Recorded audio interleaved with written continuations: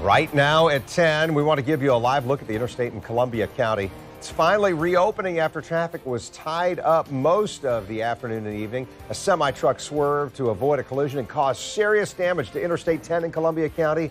That trailer carrying heavy machinery that fell off and busted several holes on the overpass to I 75.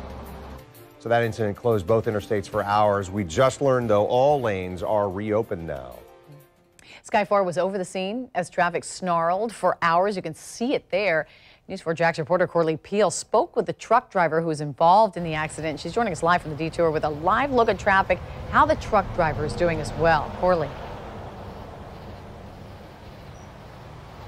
Traffic is moving at a better pace now, now that all lanes of I-75 here are back open. You can see there's not much traffic here now. It is moving at a steady pace, but the truck driver involved in the accident tells me he is shaken up, but fortunately, he was not hurt. He says he swerved to dodge a driver who drove into his lane.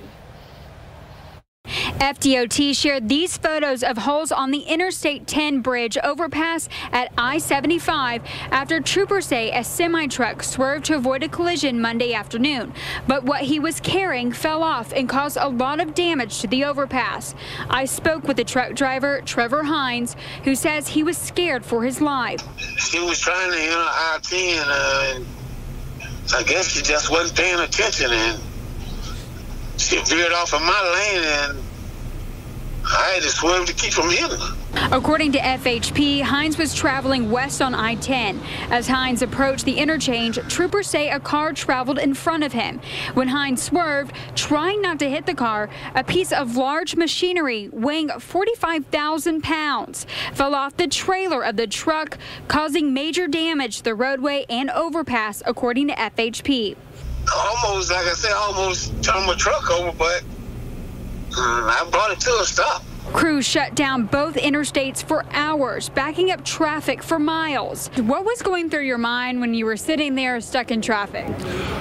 Hoping that we could move on and continue to watch my gas hand and uh, hopefully that we would, you know, get on through traffic without any other further delay.